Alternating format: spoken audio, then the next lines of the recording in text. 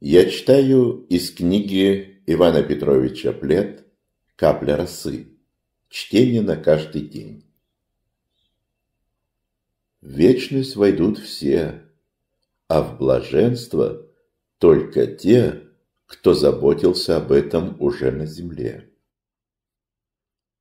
Размышления на книгу пророка Иеремии, 29 глава, с 8 по 14 стихи.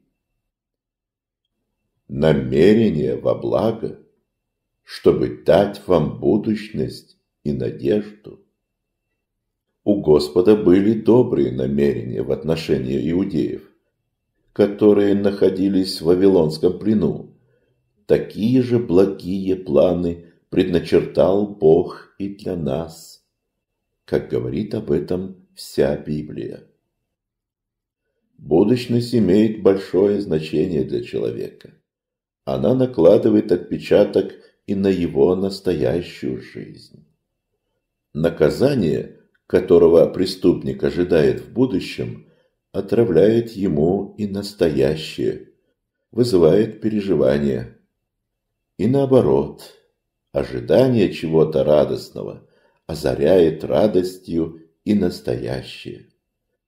Можно представить себе, что разбойнику стало намного легче умирать, когда он услышал от Господа «Ныне же будешь со мною в раю».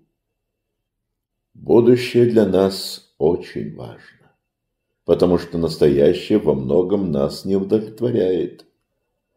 Плоть вынуждает нас постоянно бороться.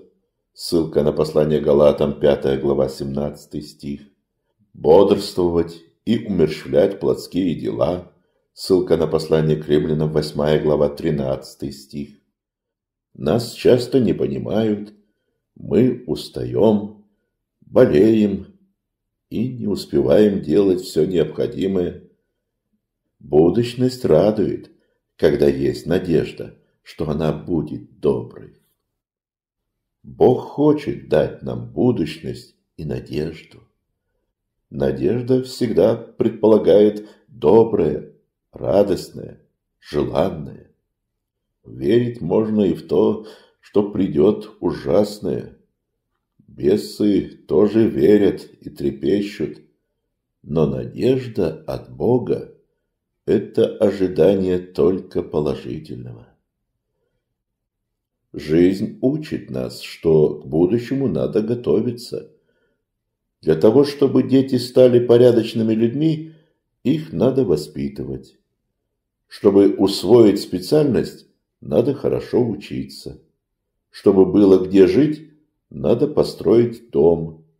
Чтобы зимой были свежие овощи, надо готовить их летом. Будущность ожидает нас не только в этой жизни. Нам предстоит войти в будущий мир то есть вечность. Бог дает нам надежду на блаженное состояние, несравнимое здесь ни с чем. Он призывает нас готовиться к этой блаженной жизни. В вечность войдут все, а в блаженство только те, кто заботился об этом уже на земле. Входите тесными вратами, потому что широки врата и пространен путь, ведущий в погибель, и многие идут ими. Потому что тесны врата и узок путь, ведущий в жизнь, и немногие находят их. Евангелие от Матвея, 7 глава, 13 и 14 стихи. Итак, мы посланники от имени Христова, и как бы сам Бог увещевает через нас, от имени Христова просим, примиритесь с Богом. Второе послание к Коринфянам, 5 глава, 20 стих.